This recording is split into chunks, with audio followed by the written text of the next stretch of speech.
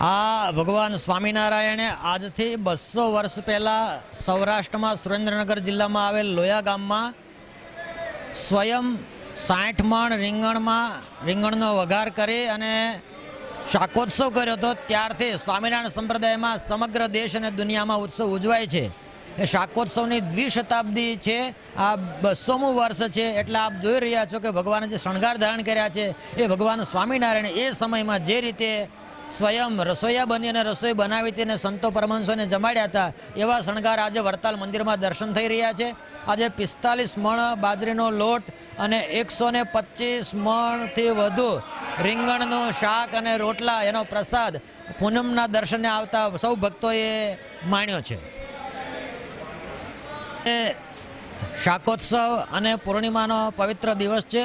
હજારો હરિભક્તો દર્શનાર્થે આવ્યા છે અને લાખો લોકો પોતાના ઘરે રહીને લાઈવ દર્શન કરી રહ્યા છે. હું તમામને પ્રાર્થના કરું છું, આપણે કોરોનાના વિપરીત સમયની અંદર ખૂબ સંયમ સાથે અત્યાર સુધી સફળ રહ્યા છીએ. અત્યારે પણ આપણે માસ્ક અને દો ગજ કી દૂરી જરૂરી સમજી અને કોરોનાની લડાઈ જે રીતે ચાલી રહી છે, એમાં પૂર્ણ સહયોગ આપીશું. સરકારશ્રીને, પરિવારને, બધાને આપણે એવો સહયોગ આપીએ કે બધાને એમ થાય કે આપણે કોરોનાની લડાઈ લડી રહ્યા છીએ અને આપણે જીત પણ મેળવી રહ્યા છીએ.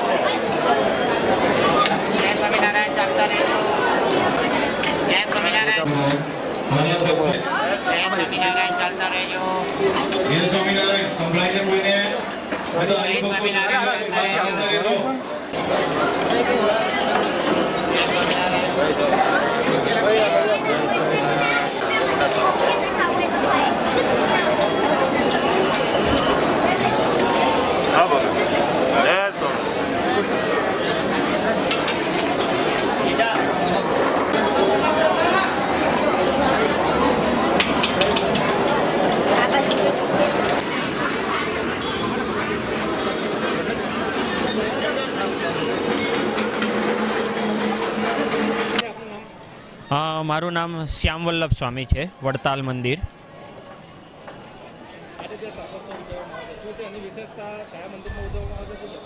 શ્રી સ્વામિનારાયણ શ્રી સ્વામિનારાયણ મંદિર વડતાલ ધામ, જે સારા એ ગુજરાતનું સર્વોચ્ચ તીર્થધામ છે. ત્યાં સ્વામિનારાયણ સંપ્રદાયના હજારો લોકો દર પૂનમે દર્શન કરવા આવે છે. આજ રોજ અહીંયા શાકોત્સવ, જે બસો વર્ષ પહેલાં સ્વામિનારાયણ ભગવાને શાકોત્સવની ઉજવણી કરેલી, એ શાકોત્સવનો આજે અહીંયા સરસ મજાનો ઉત્સવ ઉજવવામાં આવી રહ્યો છે. હજારો હરિભક્તો આનો લાભ લઈ રહ્યા છે અને આજ રોજ શાકોત્સવમાં અહીંયા એકસો ને ત્રીસ મણ જેટલા રીંગણાનું સુંદર મજાનું શાક બનાવવામાં આવ્યું છે અને પિસ્તાલીસ મણ જેટલા લોટનો રોટલ રોટલા બનાવવામાં આવ્યા છે અને સાથે સાથે રોટલીનો પણ પ્રસાદ છે.